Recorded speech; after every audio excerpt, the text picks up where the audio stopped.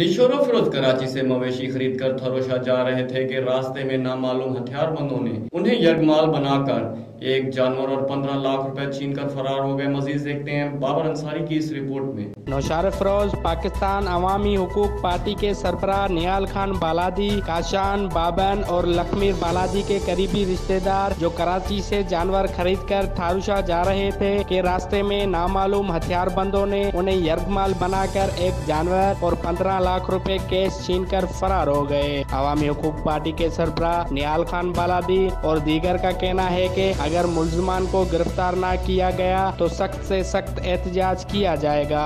दूसरी जानब press conference करते हुए अवामी हकूक पार्टी के सदर सफदर उमरानी और दीगर ने इल्ज़ाम लगाया कि कुछ किलोमीटर पे दूर खड़ी पुलिस मोबाइल भी सारा तमाशा देखने के बाद भी कुछ ना कर सकी।